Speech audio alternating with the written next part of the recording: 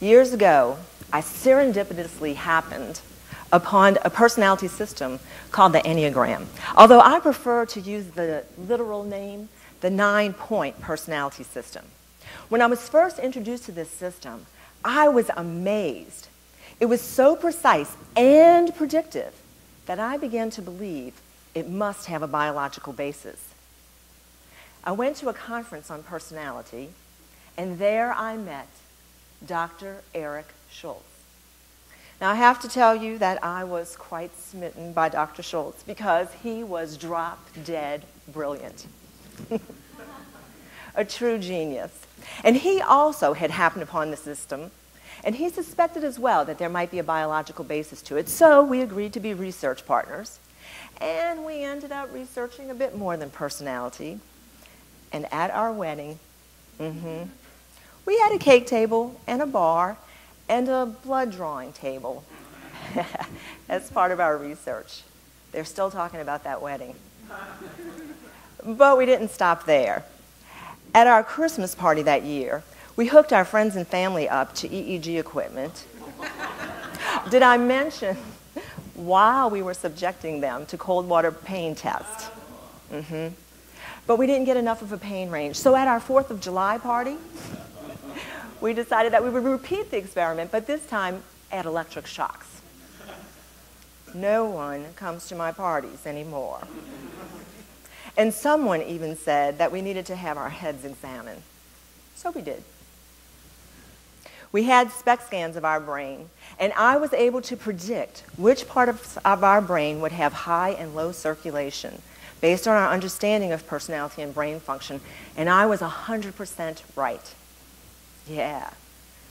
And it was at that point that we said, yes, indeed, we have cracked the code of human personality we have discovered the biology of the nine point personality system. Now, if you've ever wondered about personality, is, is it something that you're born with, or is it something that's shaped by your experience? The answer is yes to both. Initially, we're born with a set of genes that gives us a personality that can be very different from our parents and our siblings which in part explains why children with the same parents under the same roof can turn out so very differently. But the plot thickens because the very personality that you are born with becomes the lens through which you perceive your first six years.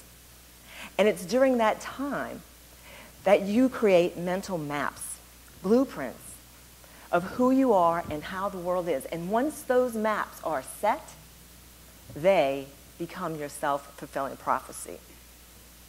I'll give you an example. Two sisters. Betty, the older sister, will describe her childhood this way. Oh my God, it was a wonderful childhood. I mean, you know, mother, she drank a little bit, and father wasn't always there, but Christmas, oh, Christmas was the best.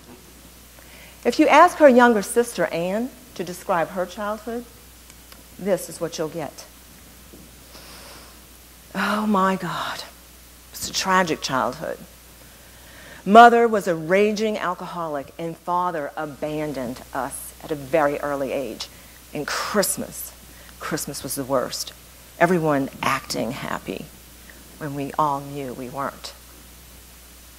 Now, you don't have to be Freud to know that those women grew up and had very different outcomes in their life experience. And I believe that the biggest difference wasn't in environment, but in their personality. And if personality can affect the very course of our life, the question becomes can we affect the course of our personality?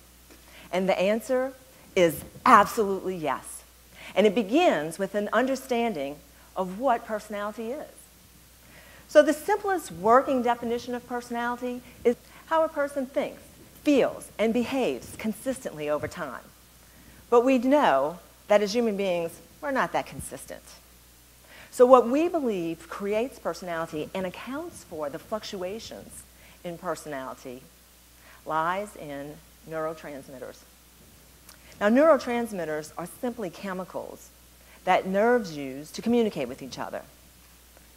These chemicals pass from one nerve to the next, and before you know it, a whole chain of communication happens. And at the end of that chain, one of three things will be produced a thought, a feeling, or an action. Hmm. Sounds familiar, eh?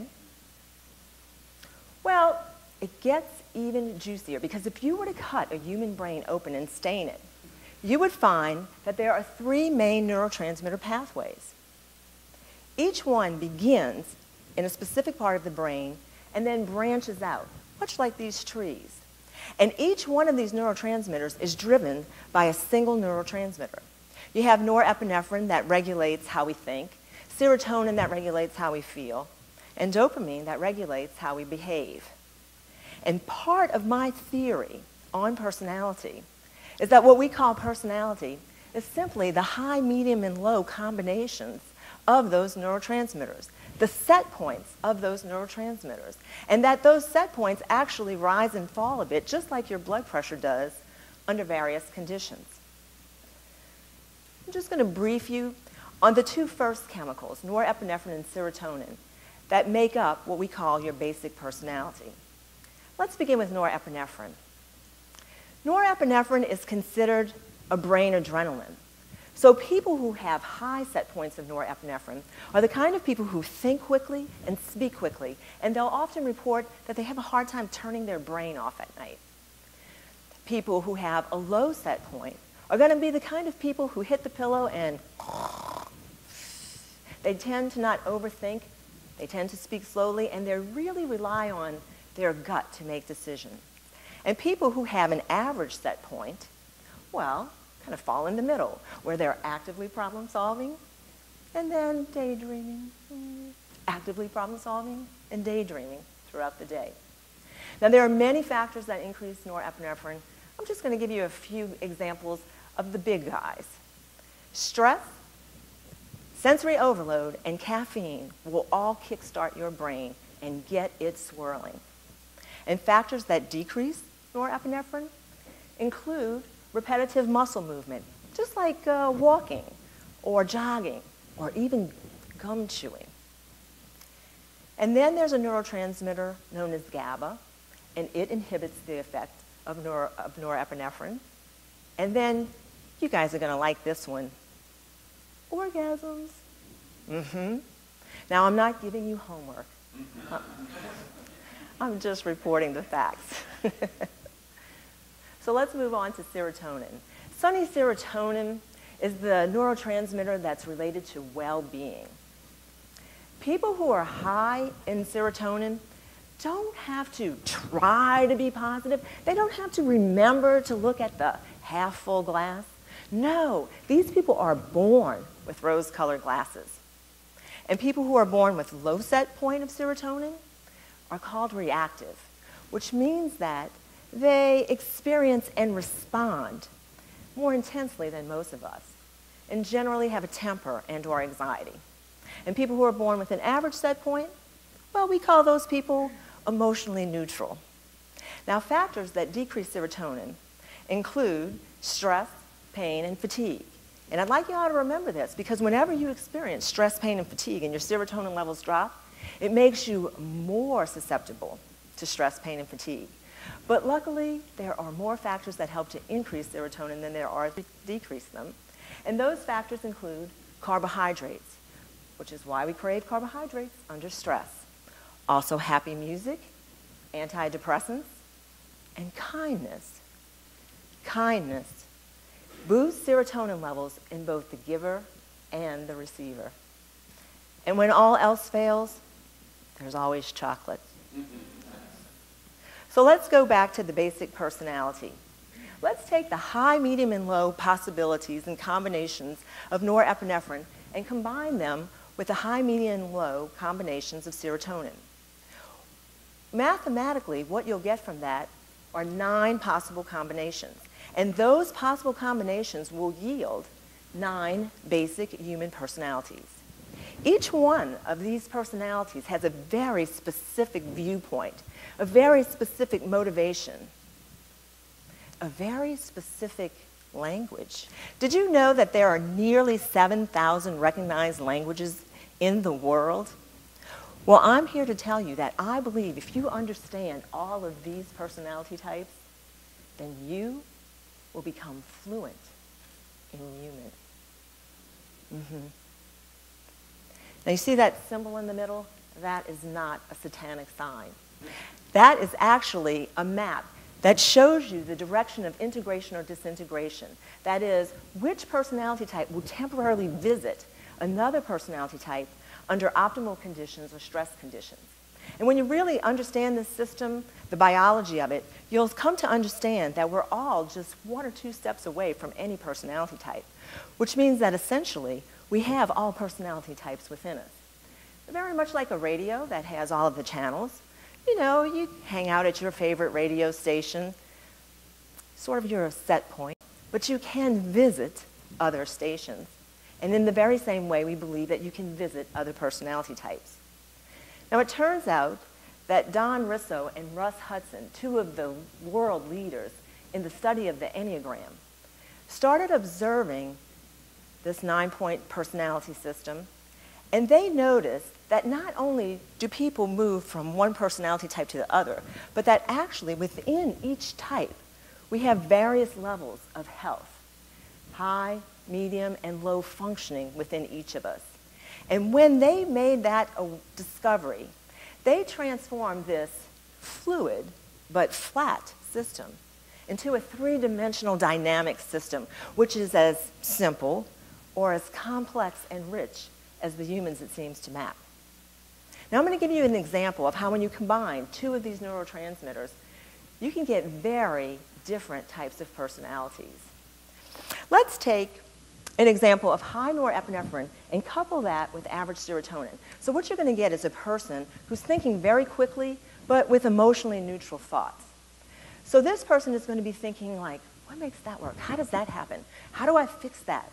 And what you're going to get from that combination is the fifth of the nine personalities, known as the thinker or the observer, also known as the nerd.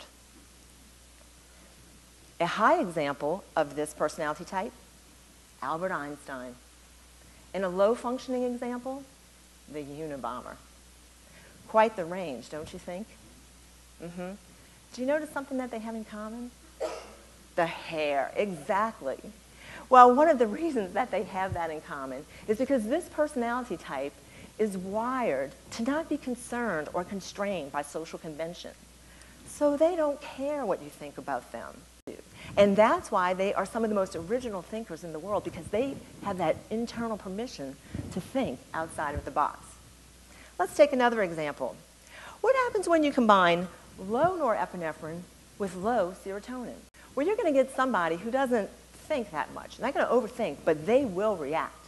And when you put that combination together, you get the eight personality, known as the boss or the leader.